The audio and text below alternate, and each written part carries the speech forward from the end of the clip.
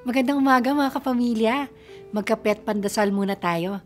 Ako si Risa Singson Kaupeng, Editor-in-Chief ng Kirigma Magazine. Matapat kong masasabi na maraming taon akong nabuhay na parang nag-aayuno. Habang ang mga kabataan kasing edad ko ay nagpupunta sa mga kasiyahan at meron ng mga kasintahan, ako naman ay nagbabasa ng Biblia at nagpupunta sa mga prayer meeting.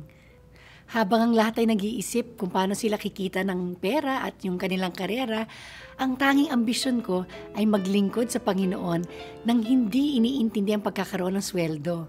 Sa katunayan, akala ko hindi na ako magbabayad ng buwis dahil wala naman akong kikitain. Sa pagbabalik tanaw ko, nakikita ko ang karunungan ng Diyos. Ang mga taon na pinili kong sundan siya ay naghatid sa akin ng mga bunga ng kanyang pinangako at marami pang iba. Ang mga bagay na sinuko ko bilang isang batang kristyano ay binalik niya sa akin ng higit pa sa maaasahan ko. Ngunit hindi ko malalaman na ang pamamaraan niya ay tunay kung hindi ako nagtiwala at sumunod sa kanya. Tayo magdasal?